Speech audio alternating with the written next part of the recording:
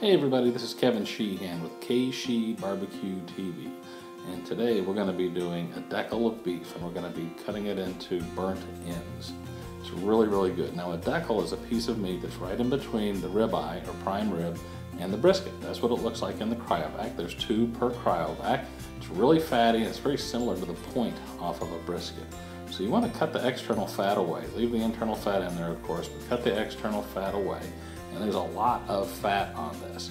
Now, um, here the one on the right is one that's trimmed and the one on the left is whole.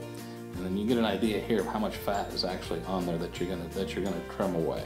But believe me, there is still a bunch of fat and gelatin that's gonna be left in this and just gonna make it great burnt ends.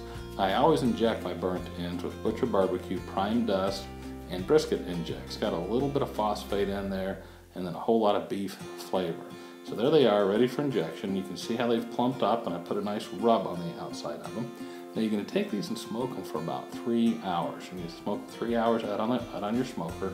Um, get them a nice hickory is what I've used here today on my big green egg. There they are after three hours. And then you're gonna pull them off, and you're gonna take them inside, you're gonna put them in aluminum foil. And then you're gonna wanna braise them for another three hours at about 225 degrees. And I used a combination of vegetable base and uh, beef bouillon, about two cups total.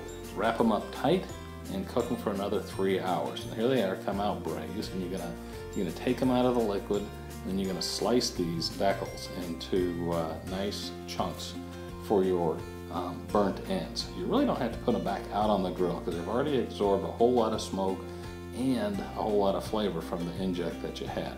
Cut them into cubes, put your favorite barbecue sauce on there, not too heavy, and a little bit of juice that you had left over. Happy eating!